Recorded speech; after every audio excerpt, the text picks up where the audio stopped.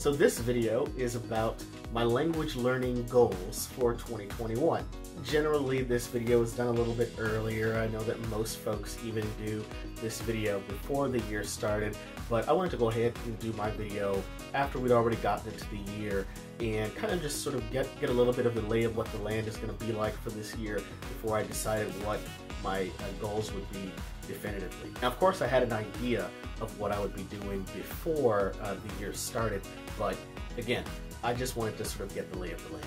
My main goal for this year, sort of the overarching goal, is to actually focus on languages that I've already been studying. I don't actually plan to add any new languages to my schedule for this year, as far as I know. My main goal for last year was to focus on the languages of Indonesia and languages sort of surrounding Indonesian uh, languages that are that are related to it. Of course, that was cut short uh, due to having to evacuate Indonesia uh, due to, to COVID and my language goals kind of shifted. So I went from Indonesian being my main focus and some of the languages that I was working on, particularly in Borneo, to essentially pivoting to a language that I'd studied before in the past, which was Italian. And I'd somehow gained this renewed in, uh, interest in the Italian language, and I decided to just go with it. After sort of everything, you know, was kind of thrown out with my plans due to COVID and, and whatnot, I decided, you know what, why not just go with Italian? And I think that was ultimately a great idea. And so for this next year, basically my focus, my, my sort of main focus, the one single language that I will be focusing on improving is Italian. In addition to uh, continuing to keep up with some of the other languages that I was working on, uh, I will also be trying to sort of move the needle a lot more aggressively with Italian. Now, of course, I believe you probably could guess that, considering that I started off this year with the Italian challenge from uh, January 1st to January 5th uh, go ahead and watch those videos if you'd like to see kind of how that went trying to do 40 hours of Italian study within the span of about five days. But really, I think what ended up happening for me last year, so when we got back, I was sort of looking to reorient myself in terms of my language learning. Obviously, Indonesian was no longer as, I won't say it wasn't pertinent, but it wasn't sort of the main focus in the sense that I would be able to go out and use it every day, every single day, uh, as was originally the plan. I think all of a sudden, just finding having the resources fall in place, becoming interested in Italian music, becoming interested in some old films that I'd watched from high school. Um, I'll do a video probably later on my Italian story so you can know kind of what my background is with Italian. Little by little, I started falling in love with the language again, and so I really started dedicating time to it. And I've made quite a bit of progress so far, so I'd like to really push the needle on making progress with Italian this year. Now, the next language that I will be working on this year is, of course, French. I'm a French teacher, and I need to be able to keep up my French skills as it is a part of part of my job. One of the important things that I think we often miss in language learning uh, particularly for those that teach languages, is the importance of having adult conversations. If you are a foreign language teacher, you find yourself sort of talking to students, using that level, accommodating at that level, but in order to maintain your full-blown skills in that language, you really need to be having adult conversations and interacting with native material that is of interest to you. So that's kind of what my main thing around French will be, is simply to have as many adult interactions as I can and to engage with native material as much as I can. I'll talk a little bit about exactly what I'll be doing in just a moment, but that's kind of my main, what essentially sort of the, the atmosphere around French uh, that, that sort of will, will exist this year. The next language that I'll be working on, of course, is maintaining my Indonesian. I made a tremendous amount of progress while I was in Indonesia with the language and I would like to maintain that uh, so that when I'm able to go back, hopefully maybe um, in the summertime or maybe next winter or something like that. I don't think that things will be opening up all that soon for that kind of travel uh, or field work, but I would like to maintain my skills so that I can use Indonesian when I do uh, return for field work, when I am able uh, to interact with uh, people in a daily basis and, and be sort of in, in a contact setting. Also, currently language documentation for my for my current projects are happening remotely. So I do occasionally need to hop onto some sort of video conferencing platform. It could be Facebook, but it's normally WhatsApp or something like that and interact in Indonesian. I'd like to be able to have conversations, chit chat, uh, and like to be able to also carry out the work that I need to, uh, that I'm doing remotely with people that I know living uh, in, in Indonesia. The next language that I'd like to uh, work on this year is Chinese. Now this is a language that I began quite a few years ago. I want to say it was the summer of 2017 where I really dug into Chinese.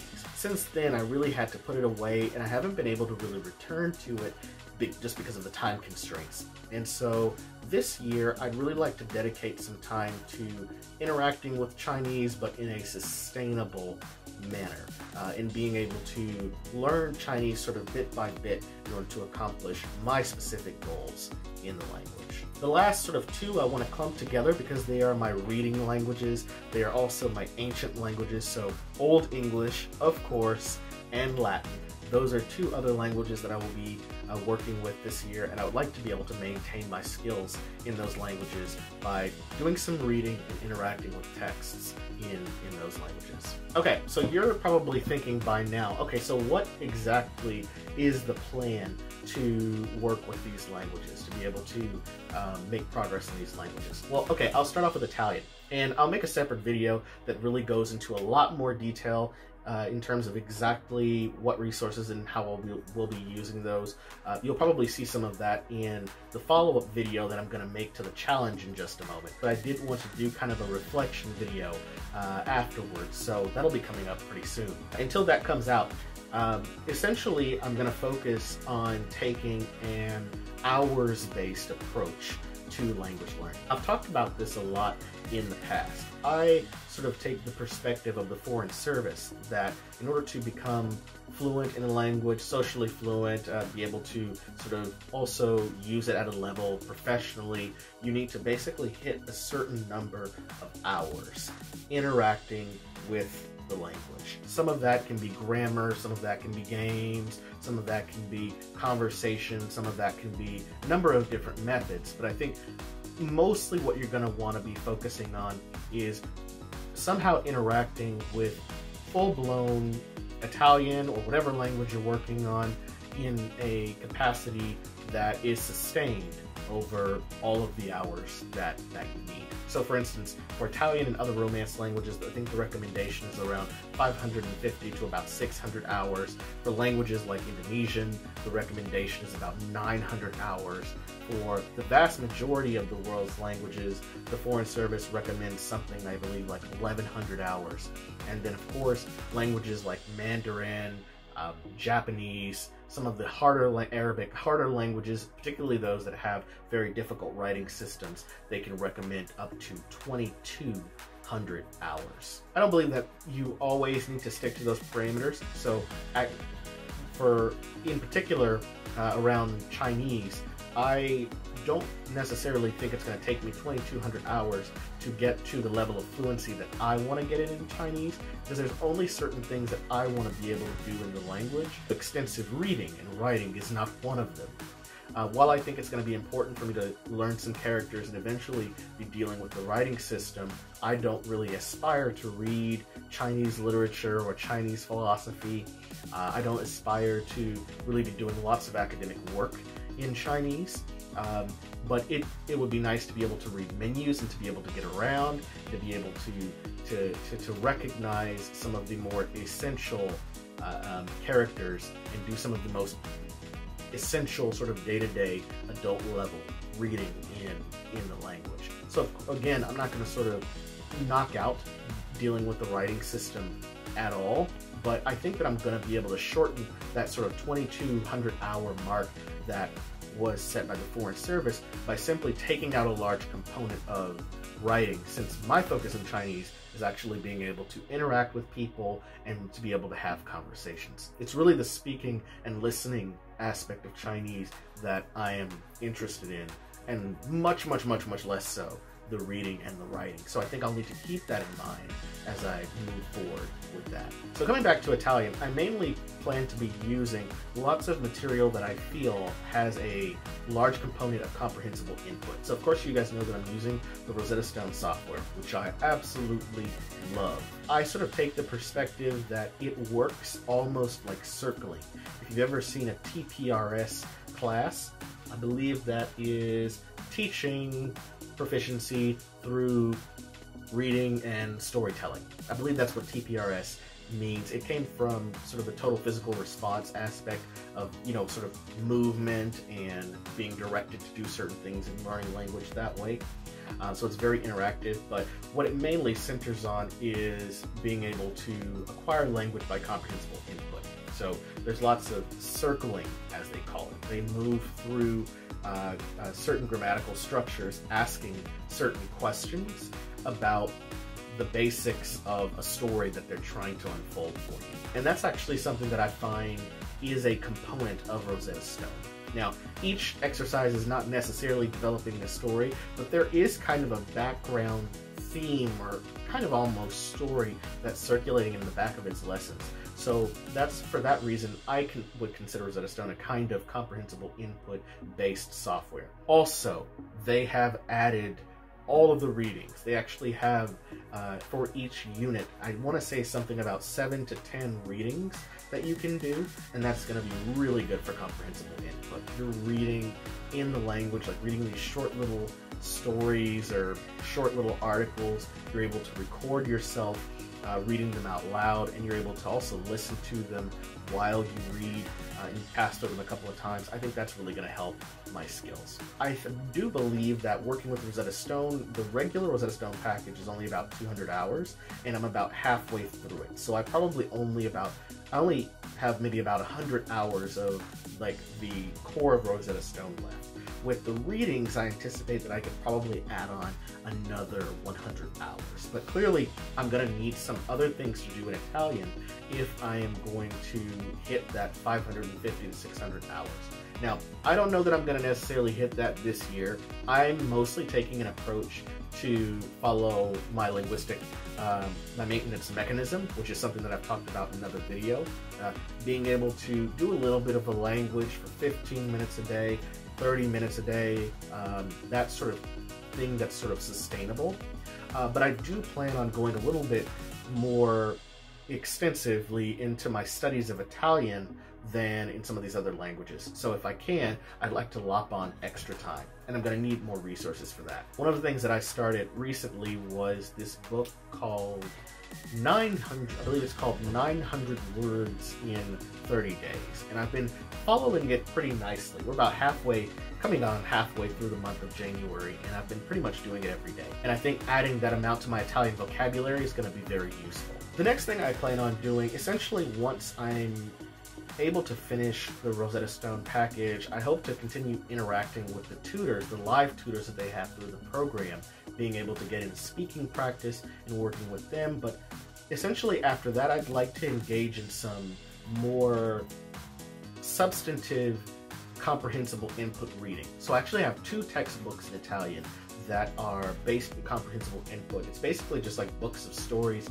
and it's got all the vocabulary, all the things in it. And I want to be able to work my way through those stories, learning the vocabulary, expanding, and being able to use the language that way. I hope to really just sort of dive into those TPRS uh, materials for to get the additional hundreds of 100, 200 or so hours that would come after that point. In addition to that, of course, I plan on continuing watching uh, actual native content on YouTube.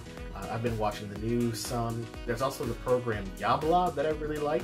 And I think maybe if I'm able to finish some of those TPRS books, I think I'd like to sort of graduate, if you will, to Yabla, where I'm watching native content and doing dictation exercises, playing all sorts of games, things that really cause me to sit myself in front of regular spoken Italian as messy and as wonderful as it is every single day. That's kind of the progression that I can imagine over the course of this year. And I'd like to just honestly chug, chug along and mark my progress as I make my way through it, marking off each hour that I'm able to complete. When it comes to French, uh, my main thing has been to use Yabla. So that program that I just mentioned for Italian, sort of when I'm able to reach that high level, I've already started using that for French. It is amazing. Basically, it is all native content.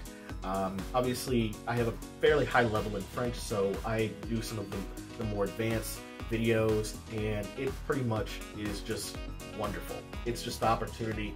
You, you're watching movies, you're watching TV shows, you're watching interviews, you're watching um, a little bit more put together than sort of randos talking, but you get some of that loose, looser structure stuff as well, except that it has the the capacity to sort of direct your learning uh, because it's not sort of in the same way that when I'm on YouTube sort of surfing, I'll watch a video and I'll watch it once and then maybe I won't ever return to it again. So it just in terms of its value, I don't sort of gain all that much from one single video in terms of pushing the needle on my language learning. I don't know that I actually learn, I may understand a lot of vocabulary, but I don't know that I actually internalize a lot of new vocabulary and that sort of thing. Yabla is a little bit different because it allows you to interact with all of those, that wonderful messiness of what is the French language, um, sort of through that, again, that native content, but it does have the structure of having games, having dictation, it has you to sort of transcribe the video so that you can actually see what the parts are, and I think that's really going to help move the needle in terms of upping my vocabulary in French and being able to maintain that high level. So that's pretty much it for French. I just want to be able to interact with all of the materials on Yabla, and of course I'll continue watching things on Netflix and YouTube as I will. When it comes to Indonesian, basically I want to be able to just do some readings every day. So uh, I went to Indonesian Pod and I was able to get a lot of the articles and a lot of the scripts for their videos and things. And so I'd like to honestly just spend most of the year reading through that. Of course, yep, right here on my desk I've got my Assimil Indonesian. Um, I want to basically just continue working my way through that. I wasn't able to finish that this past year. I think I'm about a fourth of the way through. So, you know, I'd like to chug away at that uh, um, this year. And of course, interact with people uh, on WhatsApp or Facebook in the language, being able to get sort of those authentic experiences when I can. In terms of Chinese, I've basically only got, um, I was going to say I only have one game plan, but really I've got two main resources that I'm going to use. I'm going to be using this channel called Hit Chinese, which is a TPRS based channel. So it's comprehensible input. There's a lady who actually gives little short Chinese lessons. They're usually around like 12 to about 20 minutes and they are they involve telling a story and circling and moving through a specific grammatical structure in order to tell the story. TPRS is absolutely amazing, so I'd like to continue uh, using and incorporating TPRS methods in my language learning regimen. And that Hit Chinese program I think is going to be excellent for that. In addition to that, I am going to bring back my Rosetta Stone Chinese. So actually, back in 2017 when I started working on Chinese, one of my main resources was Rosetta Stone. But I wasn't sort of able to keep up with it because it became too clunky. And then if you forgot a day, it tried to sort of remind you with a revision lesson. And then if you missed too many, it just added up all the revision lessons. And then with the revision lessons, you weren't able to really see your progress. So I got discouraged.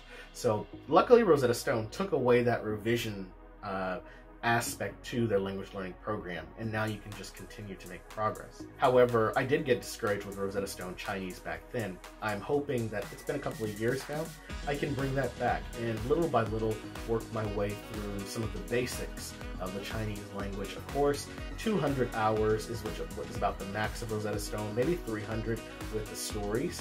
That is not nearly as many hours as you'll need to be fluent, but at least it'll keep me studying it every day.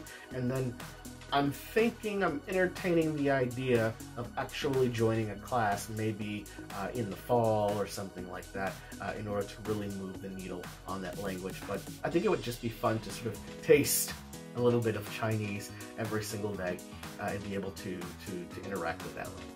So of course I'll be working with a number of languages in a linguistic capacity. The Kayanic languages that I'm working on for my thesis, I will continue working on uh, the data that that I've been working on for the past couple of months uh, until my thesis is done. Uh, we've also got some really cool plans for the Wehea language uh, this year, so I'd like to continue working on Wehea, and maybe I'll learn a little bit of Wehea along the way, which would be. Uh, but I think in terms of a lot of the stuff that I did in Borneo, in, in term, I think I probably won't be incorporating that so much into my language learning regimen, and I will leave that in the linguistic realm of things for most of this year. In terms of Old English and Latin, I mainly, for Latin, I mainly plan on focusing my attention on mastering certain grammatical structures that I never quite mastered. It's not that I never knew them or um, I don't sort of have them down, but I sometimes have to go look up things. I sometimes, it's usually one of the first things I forget. And so these are the kinds of structures that I'm going to want to sort of on the daily basis interact with. The third declension nouns. I have no idea why, but I'd say after a few months of not doing any Latin, the third declension nouns uh, are usually one of the first things that I forget. So I'd like to actually spend most of this year focused on really internalizing, overlearning, right, as I've mentioned before, uh, and essential for language learning, overlearning the third declension Latin nouns. Um, and doing that while I interact with the language in other ways as well. Reading things, I'll be, I've got a book in a TPRS book uh, in, in Latin. I'd like to get some more stories in Latin and really use those materials to maintain my Latin skills. With Old English, I have got my Old English textbook, Teach Yourself Old English. I'd like to continue sort of chipping away at that on the weekends, um, just chapter by chapter, maybe a chapter a month, really slowly, but something that has me to sort of be able to interact with Old English at least, you know, maybe once a week um, and, you know, a few times a month so that I can maintain those reading skills and maintain the vocabulary and my level in Old English. So that's pretty much it for my language learning goals. Uh, I think a lot of folks are doing quarters this year. I've decided sort of not to sort of break up my year so much into quarters. I may change my mind.